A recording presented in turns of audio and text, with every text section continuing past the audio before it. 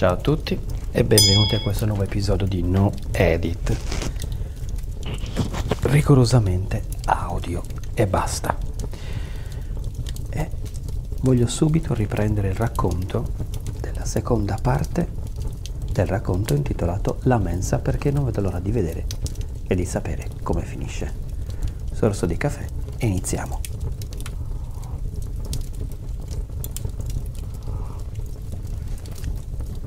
Smise di essere un'estranea, molto rapidamente, quando vide il coltello nella mano del mietitore. Jean si irrigidì e fissò la lama scura. Cercò di trattenere il respiro, ma non poté smettere di ansimare. Il cuore le sembrava un martello che cercasse di aprirsi una via di fuga dal petto. No, farfugliò lei. Ti prego. Lui sorrise. Sapevo che ti saresti messa a implorare. Ti ho mai fatto nulla. Ma ora stai per fare qualcosa per me. Il coltello si avvicinò, sentì la lama fredda sulla pelle, ma non provò dolore. Non tagliò. Non Gin. Tagliò invece i suoi indumenti, le spalline del reggiseno, le maniche della camicetta, la cintura della gonna. L'uomo portò gli indumenti verso il fuoco. No, non farlo. Lui sorrise e li lasciò cadere sulle fiamme. Non ti serviranno, tu resterai qui, qui alla mensa. Da qualche parte, in lontananza, un coyote ululò. Quello è il mio amico. Abbiamo un accordo. Io lascio qui un pasto per lui e i suoi compagni della foresta e loro fanno le pulizie al posto mio. Con le mie truppe non ho problemi di tombe o sepolture. Io ti lascio qui e domani non ci sarai più. Arriveranno come tanti bravi soldatini affamati e lasceranno la mensa pulita in ordine per la prossima volta. Nessun problema e nessuna preoccupazione. E tu, dolcezza, potrai risparmiarti l'imbarazzo di dover tornare al campus con il culetto di fuori. Accovacciandosi accanto al fuoco, aprì la cassetta degli attrezzi. Ne tirò fuori un paio di pinze e un cacciavite. Posò le pinze su un sasso pulito, su un sasso piatto, e impugnò invece il cacciavite. La punta metallica era già annerita prima ancora che lui la tenesse sopra il fuoco. Jean vide le fiamme arricciarsi intorno al metallo acuminato. No! gridò. Ti prego, No, ti prego, le fece il verso lui. Sorridendo fece ruotare il cacciavite nel suo pugno. Credi che sia già pronto? Scrollò la testa.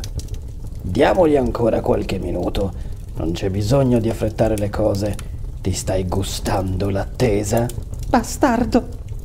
E questo il modo di parlare? Aiuto! urlò lei. Aiuto! Vi prego, aiutatemi! Non ti sentirà nessuno all'infuori dei coyote. Non puoi fare una cosa simile. Certo che posso. L'ho già fatta parecchie altre volte. Ti scongiuro, farò qualunque cosa. So già cosa farai. Urlerai, ti dimenerai, piangerai, tirerai calci, implorerai, sbaverai, sanguinerai. Non necessariamente in quest'ordine, è ovvio. Si rialzò, le pinze in una mano e il cacciavite nell'altra. Avanzò lentamente verso Jean. Dalla punta del cacciavite si alzavano leggeri sbuffi di fumo bianco. Si fermò di fronte a lei. Ora vediamo. Da dove comincio? Ci sono tante zone di prima qualità fra cui scegliere. Alzò il cacciavite verso il suo occhio sinistro. Gin girò di scatto il viso, la punta si fece più vicina, lei chiuse l'occhio, sentì il calore contro la palpebra, ma il calore si affievolì.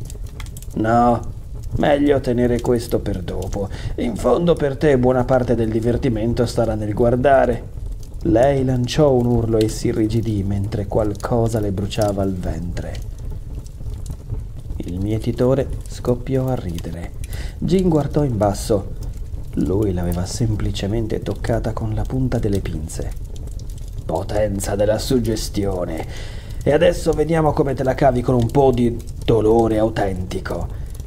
Lentamente avvicinò il cacciavite al suo seno sinistro.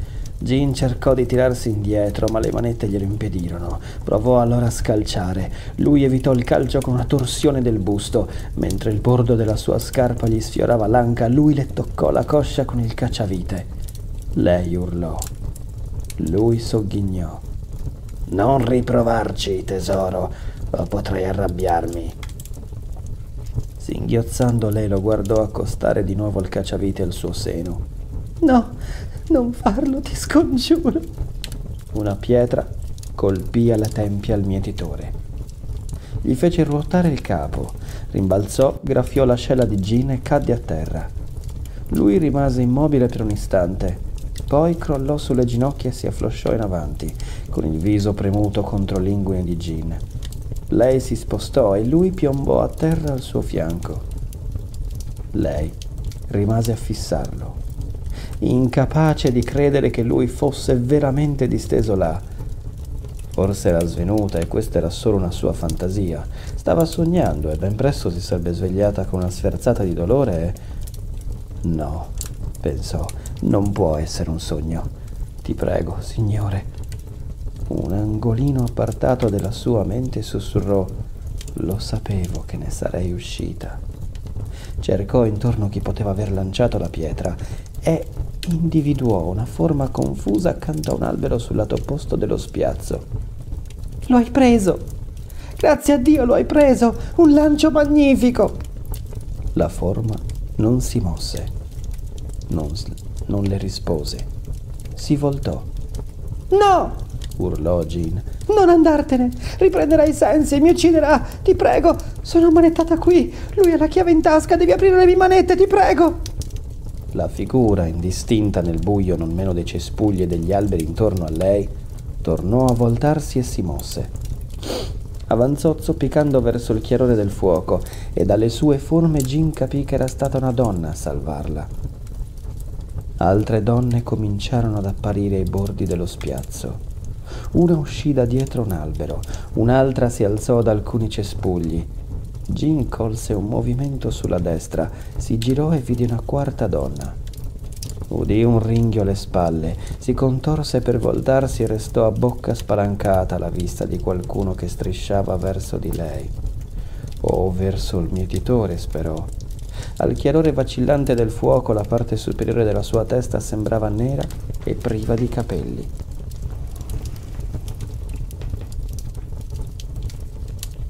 Come se fosse stata scotennata. Su un lato della schiena la pelle era stata strappata e Jane intravvide pallide costole ricurve prima che lei si spostasse. Ora ne aveva davanti cinque, che avanzavano ed erano ormai abbastanza vicine al fuoco perché lei potesse vederle chiaramente. Jean le fissò e di nuovo staccò i contatti. Uscì dal proprio corpo divenne una spettatrice. Quella che aveva lanciato la pietra aveva una cavità nera al posto dell'occhio sinistro. La ragazza manettata sotto l'albero si meravigliò che una persona con un occhio solo fosse riuscita a scagliare una pietra con tanta precisione. La cosa era ancora più sorprendente perché la persona in questione era indubbiamente morta. Dal ventre le penzolavano tratti d'intestino che le oscillavano fra le gambe come il perizoma di un pelle rossa.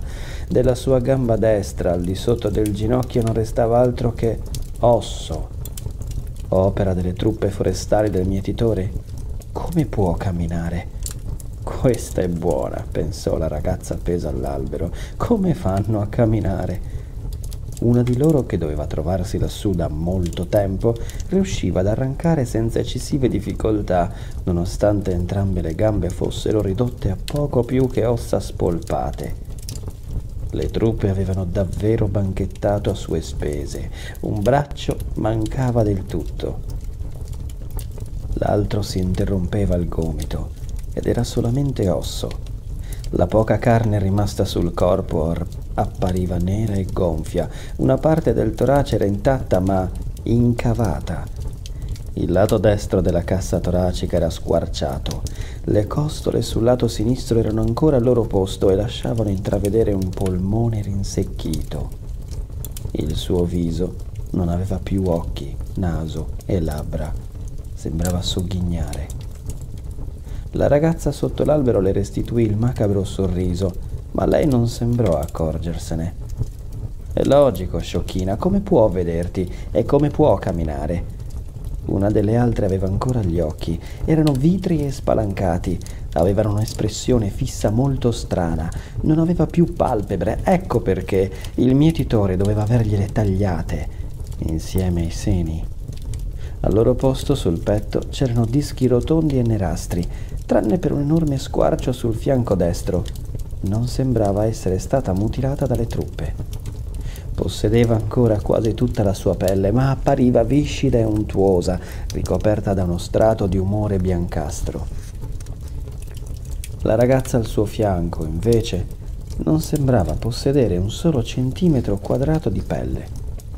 Era stata scuoiata. Era nera dappertutto, tranne il bianco degli occhi e dei denti, e centinaia di puntini bianchi come se l'avessero cosparsa di riso. Ma il riso si muoveva il riso era vivo. Vermi. Anche l'ultima delle cinque ragazze che si avvicinavano di fronte a lei era nera, però non sembrava scuoiata, bensì bruciata. Il suo corpo era una crosta carbonizzata che scricchiolava e trasudava umori che luccicavano al chiarore del fuoco. Assomigliava ben poco a un essere umano. Poteva essere stata plasmata col fango da un bambino ritardato che non l'aveva fornita di seni, di dita alle mani e ai piedi, di naso e orecchie e che per fare gli occhi aveva conficcato due dita nella testa. La sua crosta produsse suoni di carta stropicciata e scricchiolante mentre si trascinava oltre il fuoco e alcune scaglie si staccarono. Un gruppetto variopinto, pensò la ragazza manettata all'albero. Si domandò se una di loro avrebbe avuto tanto buon senso da recuperare la chiave e aprire le manette, ma ne dubitava. A dire il vero non sembravano neppure rendersi conto della sua presenza. Tutte avanzavano zoppicanti e striscianti verso il mietitore, le cui urla ora stavano frantumando quella fragile forza che aveva permesso a Jean di starsene alla larga dall'estranea manettata all'albero. Cercò di mantenere le distanze. Non ci riuscì fu risucchiata di nuovo dentro la ragazza nuda con le braccia sospese. Provò un'improvvisa ondata di orrore e repulsione e di speranza. Qualunque cosa fossero quelle creature, erano anche loro vittime del mietitore. Il momento della resa dei conti. Lui stava ancora urlando e Jean lo guardò era a quattro zampe. La ragazza scotennata nella stessa posizione di fronte a lui gli aveva imprigionato la testa fra le mani. Gli stava addentando il cranio. Udì, Jean udì il suono di uno strappo viscido quando la ragazza staccò una ciocca di capelli e di carne. Lui ebbe un sussulto e scivolò all'indietro, trascinato dalla ragazza che aveva lanciato la pietra e da quella con la pelle viscida. Ognuna lo aveva afferrato per un piede.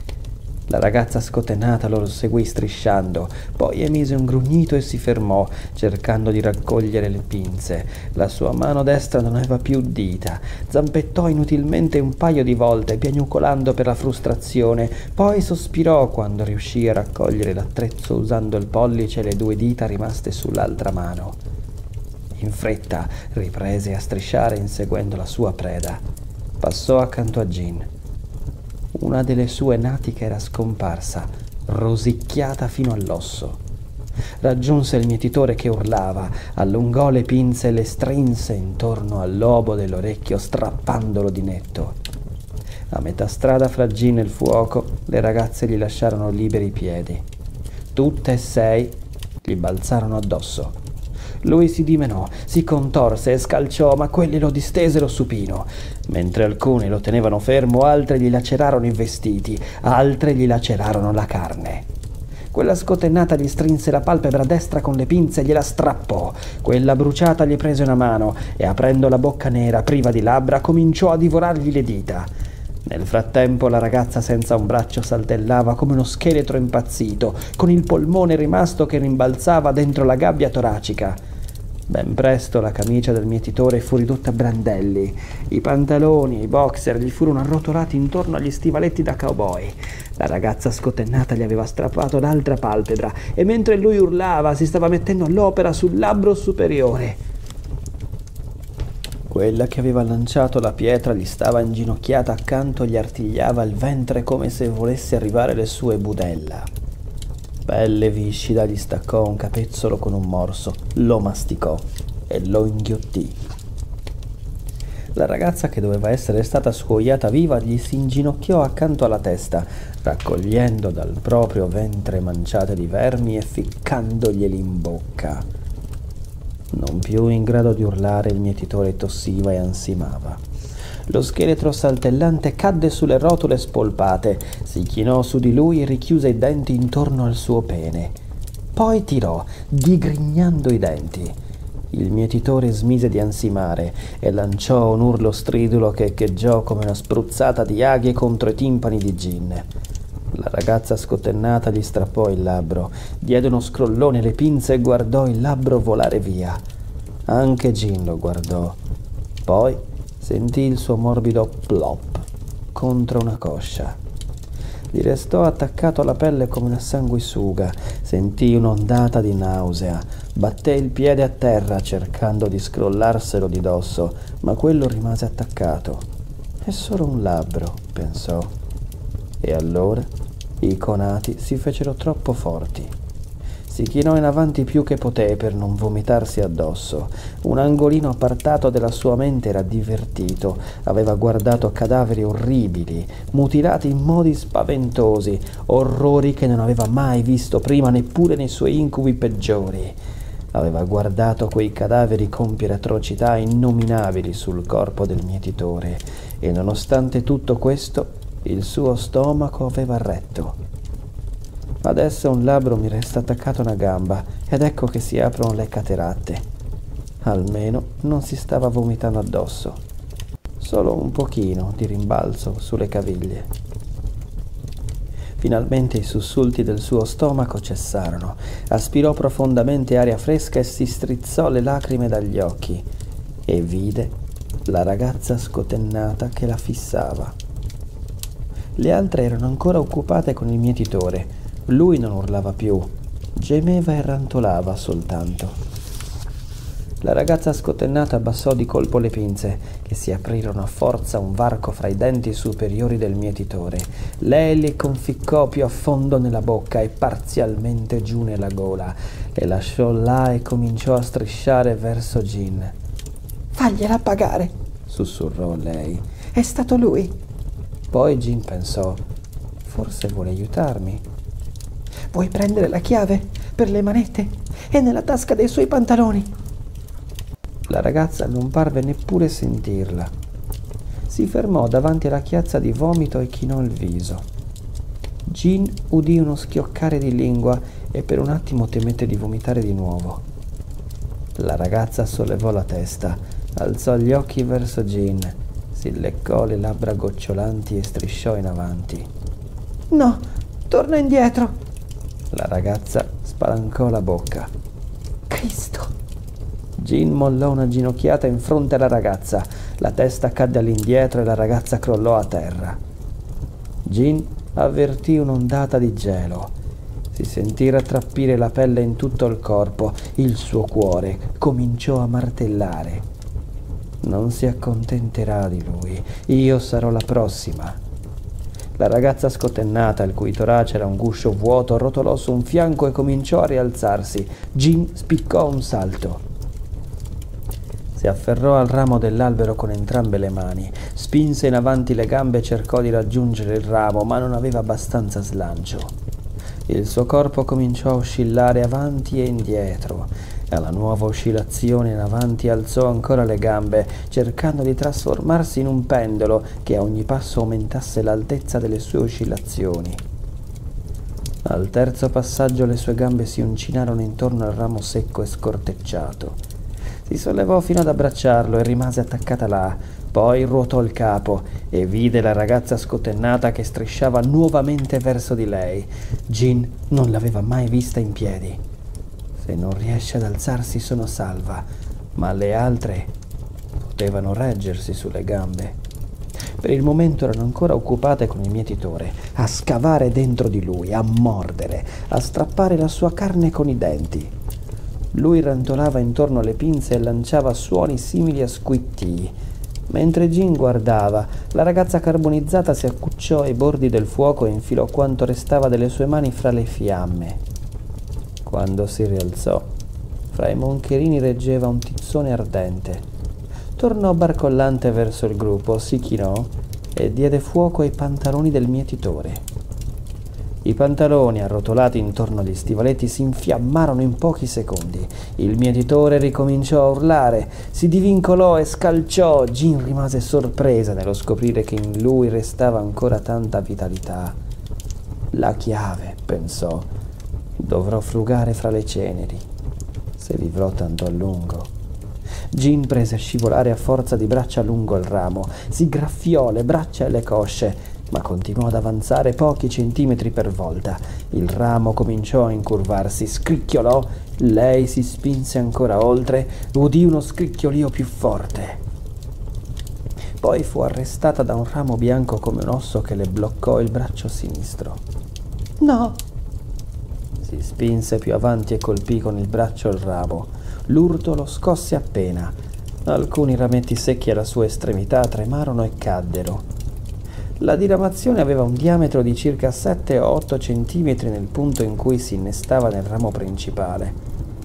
Un po' più in alto si assottigliava parecchio e sembrava più facile da spezzare, ma lei non poteva arrivare fin là, non con i polsi uniti dalla corta catena delle manette. Quel ramo le sbarrava il passo come il braccio di uno scheletro deciso a tenerla bloccata finché i suoi compagni non avessero finito con il mietitore e potessero occuparsi di lei. Jean sollevò la testa e strinse il ramo fra i denti. Morse con forza disperata il legno secco e lavorò di mascelle. I suoi denti sembrarono a malapena intaccarlo. Abbassò il capo, sputò schegge e sporcizia e girò gli occhi. Il mietitore non si muoveva più e non emetteva alcun suono. Dalla zona nerita dove i suoi pantaloni avevano preso fuoco si levava un fumo pallido. La ragazza carbonizzata che li aveva incendiati stava reggendo un braccio mozzato dell'uomo sopra il fuoco. La ragazza viscida e senza seno cercava di infilarsi uno dei suoi stivaletti. La ragazza scuoiata, ginocchioni accanto alla testa del mietitore, gli aveva tolto le pinze dalla bocca. A prima vista Jean pensò che si stesse pizzicando poi vide che, uno alla volta, strizzava con le pinze i vermi che le infestavano il ventre. La testa di quella che aveva lanciato la pietra era sepolta nell'addome squarciato del mietitore. Quando si sollevò, dai denti le penzolavano spire d'intestino. La ragazza senza un braccio se ne stava distesa fra i resti anneriti delle gambe del mietitore, dilaniando con i denti la cavità che un tempo aveva ospitato i suoi genitali.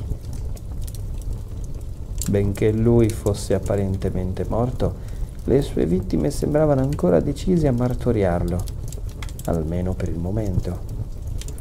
Torcendo il collo, Jean vide la ragazza scotennata proprio sotto di lei. Era in ginocchio, con le braccia sollevate e artigliava l'aria con quel che le restava delle mani. Non può raggiungermi, si disse Jean, ma le altre non appena avranno finito col mietitore vedranno questa puttana qui sotto e poi vedranno me. Se lei se ne andasse, vattene di qui. Jean avrebbe voluto gridarlo, ma non osò. Le sembrava quasi di vedere le altre che giravano il capo al suono della sua voce. Se solo potessi ucciderla. Già, bella pensata, devo fare qualcosa.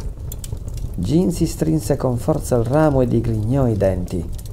Non provarci, pensò. Non le faresti neppure male e saresti alla portata delle sue mani, ma forse un bel calcio alla testa potrebbe scoraggiarla. Non ci conterei molto. Jean staccò le gambe dal ramo.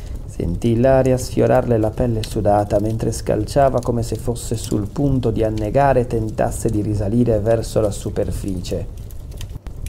Il tacco di una sua scarpa colpì qualcosa. Lei sperò che fosse la faccia di quella puttana. Poi iniziò l'oscillazione ascendente e la vide. Si stava girando sulle ginocchia e annaspava ghignante verso l'alto. Jean scalciò più forte che poteva mentre le sue gambe tornavano ad abbassarsi. La punta della scarpa colpì la ragazza scotennata alla gola, la sollevò di peso e la scagliò lontana. L'ho presa! Jean penzolò appesa per le mani, cercando di riacquistare slancio per raggiungere di nuovo il ramo. Fallì il primo tentativo e, pre- e perse anche la presa. Lanciò un grido quando l'acciaio delle manette le penetrò nei polsi. I suoi piedi toccarono il terreno. La ragazza scotennata rotolò su un fianco e strisciò verso di lei. Jean spiccò un salto, afferrò il ramo e cercò di sollevare le ginocchia, ma non fu abbastanza svelta. Le braccia della ragazza si avvinghiarono le sue caviglie, poi cominciarono a tirarla, a cercare di farla scendere più in basso, a salire lungo i polpacci, ad arrampicarsi su di lei. Jean si dimenò e si contorse, ma non riuscì a scrollarsi di dosso la ragazza. Le sue braccia cominciarono a cedere, la presa intorno al ramo ad allentarsi. Lanciò un grido quando i denti le morsero una coscia. Con uno schianto secco il ramo si spezzò a metà lunghezza fra Jean e il tronco. Cadendo, lei spinse di lato il ramo, le colpì una spalla quando toccò terra, le ginocchia in avanti sopra la ragazza. Il peso spinse Jean in avanti, schiacciando l'altra sotto di sé. Anche se adesso la ragazza non le stringeva più le gambe, Jean sentiva la sua testa agitarsi sotto la coscia, il corpo mutilato sussultava e si dimenava sotto il ramo, ma i denti non mollavano la loro feroce presa. Poi ottennero il loro boccone di carne e si staccarono. Afferrando il ramo, Jean se lo tolse di dosso usando la spalla per fare leva. Sentì il legno sollevarsi dalla schiena e dalle natiche. L'estremità scheggiata premeva sul terreno un metro e mezzo davanti alla sua testa.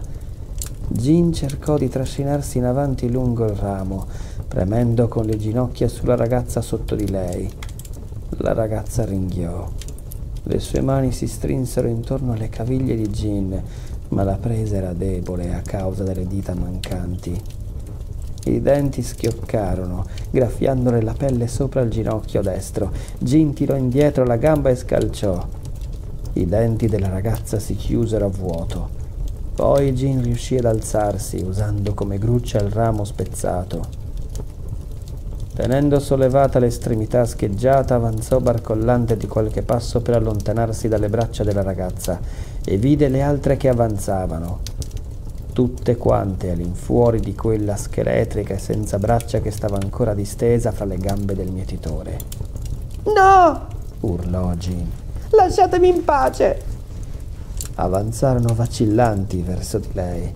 Quella carbonizzata reggeva il braccio mozzato del mietitore con una clava. Quella senza seni ora portava i suoi stivaletti. Aveva le braccia levate, già protese verso Jean, anche se distava ancora qualche metro. Quella che aveva lanciato la pietra aveva trovato un'altra pietra. Quella scuoiata viva si avvicinava continuando a pizzicarsi i vermi con le pinze. No! urlò ancora Jean. Si chinò afferrò il ramo più in basso, lo sollevò aiutandosi col fianco e ruotò su se stessa, facendogli compiere un mezzo giro davanti a sé. Il troncone di ramo spazzò il terreno di sbieco, con le dita ossute di legno che si spezzarono scricchiolanti falciando i cadaveri. Tre di loro vennero gettati a terra. Un quarto, quello della ragazza carbonizzata, si spostò all'indietro per evitare il colpo, incespicò nel torace del mietitore e annaspò nell'aria. Jean non vide se era caduta, perché il peso del ramo le stava facendo compiere un intero giro su se stessa. Un rametto colpì il viso della ragazza scotennata che strisciava verso di lei. Si spezzò con uno schiocco e volò via.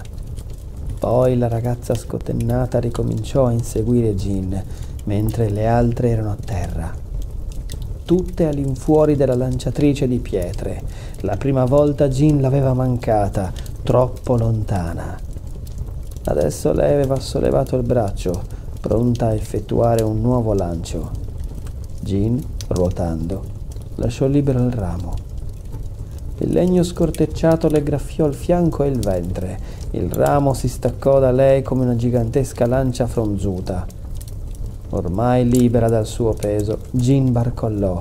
La pietra le fischiò accanto all'orecchio, cadde in ginocchio, di fronte a quella che strisciava, che arrancava verso di lei gemendo, quasi sapesse già di essere sconfitta. Conficcando entrambi i pugni nel terreno, Jean riuscì a risollevarsi, fece due passi rapidi verso la ragazza che strisciava e le mollò un calcio al viso, poi indietreggiò vacillando. Si girò. La lanciatrice era a terra, con le braccia che naspavano nel viluppo di rami morti sopra di lei. Le altre incominciavano a rialzarsi. Jean corse in mezzo a loro, i polsi ammanettati alti sopra la testa, guizzando e schivando mentre loro naspavano, abbrancavano, si abbracciavano, si sbracciavano verso di lei. Poi se le ritrovò alle spalle. Tranne il mietitore e la cosa senza braccia che masticava ancora in mezzo alle sue gambe. Devo trovare la chiave, pensò Partendo di corsa nella loro direzione si rese conto che le manette non avevano importanza, non le avrebbero impedito di guidare. La chiave era ancora nel quadro dell'auto. Superò con un salto il mietitore e si fermò accanto al suo corpo. Ansimante si chinò e sollevò una delle pietre intorno al fuoco.